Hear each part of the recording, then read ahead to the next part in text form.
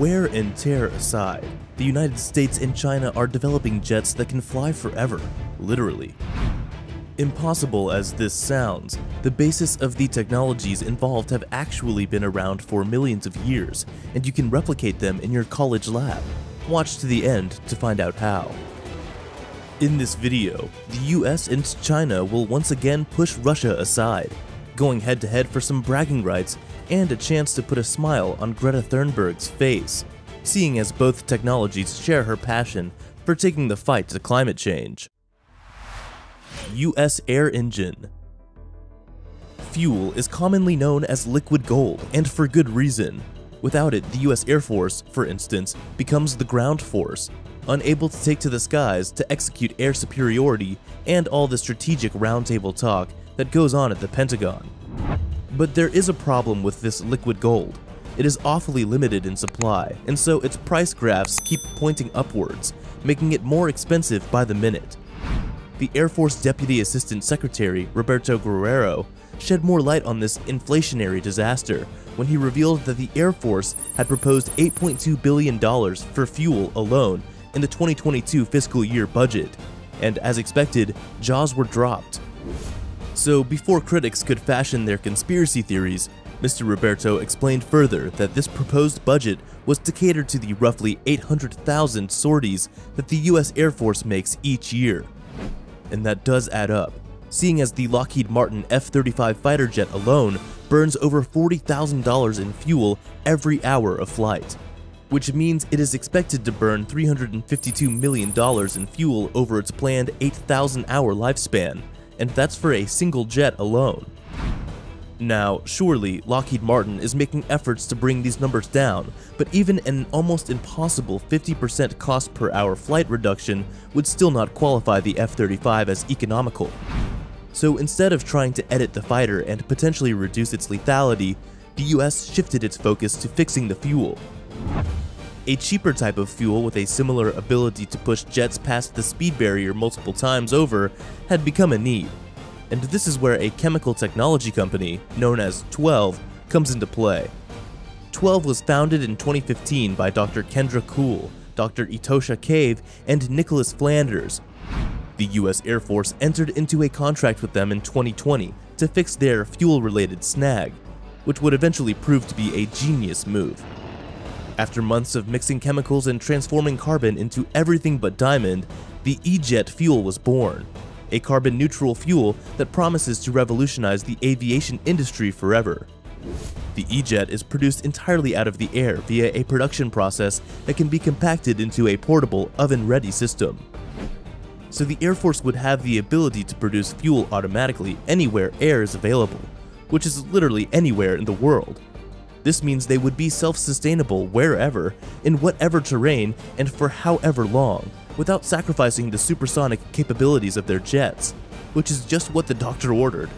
So how does making fuel from air work exactly? How does it work? Twelve's air-to-fuel conversion process is spectacular, but in no way a new concept. The science behind it is known as Fischer-Tropsch synthesis. Here, carbon dioxide and water from the atmosphere are electrified using solar energy to extract carbon and hydrogen respectively. These two elements then react together in the presence of a catalyst to speed up the reaction. The resulting compound is refined into fossil-free, carbon-neutral E-jet fuel. This carbon transformation process, commonly referred to as industrial photosynthesis, shares a striking resemblance to photosynthesis in plants, which has been around since the beginning of time. For the E-Jet to cement its place in Aviation Hall of Fame, though, it must battle for the top spot with battery-powered flights. But seeing as battery-powered flights are only viable for shorter distances, it might not be much of a battle after all. However, it isn't all rosy for the E-Jet either. There is still the issue of sourcing water. As we recall, water is required in its production process, but it isn't as readily available as air. Or is it? Twelve believes it can be, as the base components of water can be found in the air also. So in theory, water can be extracted from the atmosphere, which Twelve proved in August of 2021 when they unveiled the first batch of the E-Jet. The Air Force was beyond pleased with the company as the E-Jet was tested to be compatible with current jet engines. As a result, the Air Force has continued to endorse Twelve and push for scaling E-Jet production to satisfy actual operational demands. And with the main components, air, water, and sunlight, being the most abundant substances on Earth, there is enough optimism to go around when it comes to scalability. In terms of practicality, the E-Jet does bag the prize too. All respect to Elon Musk, but completely switching to electric land or air vehicles would equate to rendering over a billion combustion machines useless.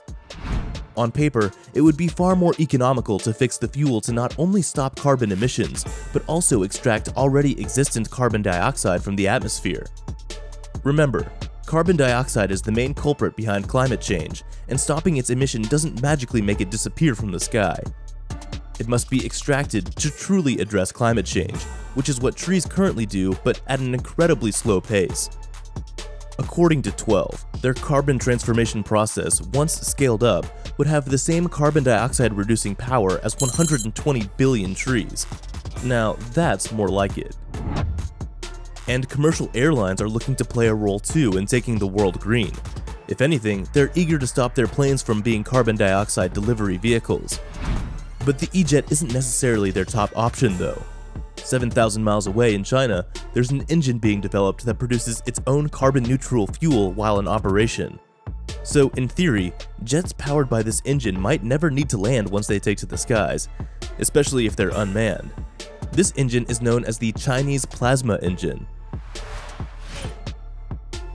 Chinese Plasma Engine Researchers from the Wuhan University in China have a very different approach to producing fuel from air, and it's just as revolutionary.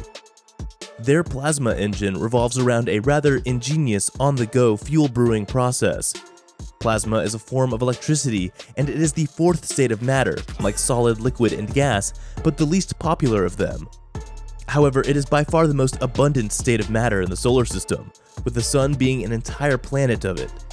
So, replicating the sun by producing superheated plasma could fabricate artificial solar energy, which then concentrated in a single direction could induce enough thrust to power jets, planes, and satellites. This is what the Wuhan researchers seek to exploit. They ionize compressed air by running it past electrodes, and then force the air along a specially designed quartz tube. The result of this process is a low temperature plasma, but low temperature plasma is meek, weak, gentle, and not too pushy, which is the exact opposite of what you want in a jet engine. But there's an easy fix for that. The scientists intersect the quartz tube containing the plasma with a waveguide full of magnetron-generated microwaves. Once these microwaves meet the plasma, boom, the plasma goes crazy, oscillating uncontrollably, hitting the walls of the engine and pushing it forward to provide thrust. However, there is one drawback that must be figured out.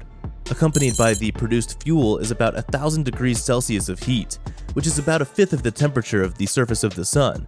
Too much heat for almost any engine housing to endure. Hopefully, for the sake of the world, the Wuhan researchers come up with a remedy for this as their plasma engine is one of great potential. It's already proven to work on a small scale by lifting a 1 kilogram ball over a quartz tube with a diameter of 24 millimeters. Confusing numbers, maybe, but just know that it works. And once scaled up, it could actually provide about the same amount of thrust as the current jet engines in operation today. Jau Tang, the lead researcher of the plasma engine and a professor of Wuhan University, shared that the motivation behind the research is its environmental benefit.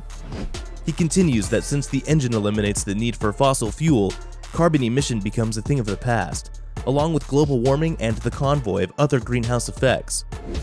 However, this motivation might soon take a back seat behind the engine's potential for military applications, seeing as the regenerative nature of the engine's fuel means military aircraft could now do everything for longer, which is amazing news in terms of air superiority. We now live in a world where Wuhan researchers are producing matter that didn't previously exist while Twelve is doing a number, quite literally, on non-renewable fossil fuels before they face certain extinction. This makes it quite a daunting task to pick a side. China reinventing the engine, or the United States reinventing the fuel? Which option would you go for? kindly share your pick in the comment section down below. And if you like these green approaches to aviation, kindly show it by liking this video. So click thumbs up on the button below, and if you're interested in being up to date with everything tech around the world, subscribe to this channel. And that'll be all for this video. Thanks for watching.